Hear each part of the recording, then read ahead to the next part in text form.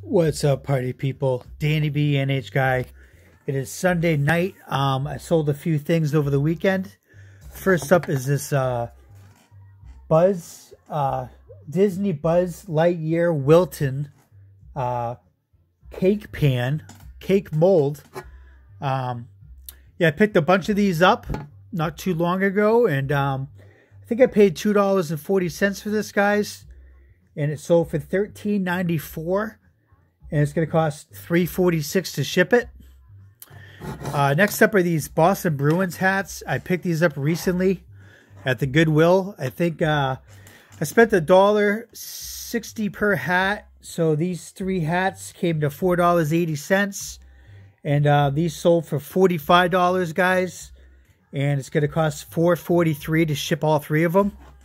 They all sold to the same person, so uh, yeah, those sold really quick. So uh, that was a really good sell right there. Next up is this um, vintage Paw Sox 1997 uh, minor league baseball bat. This is a miniature bat, guys. It's a uh, real small. And um, I picked this up not too long ago for $2.40. And it sold over the weekend for $20, guys. It's going to cost $3.56 to ship it. Next up, next up here is another one of these IBM t-shirts. I bought probably like 15 of these shirts a few years ago, and um, I'm only down to one left. So uh, here's the second to the last one that sold, and um, I was in on these for $2.40, and this sold for $19.99, and it's going to cost $4.71 to ship it, guys. Next up is this uh, Saranac, uh, New York. That's Northern New York, I believe. Um, T-shirt, graphic T-shirt.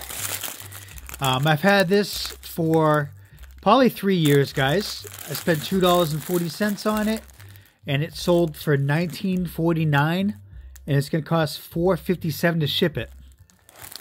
Uh, next up is this Rocket Life is Good coffee mug, coffee cup.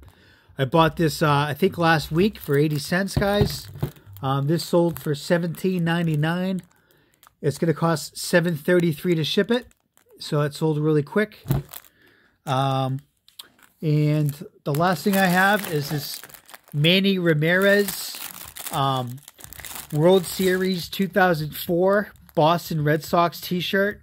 And this shirt is a 4XL. It's really big. Um, I think I was in on this for $2.40, guys. And it sold for $28.95.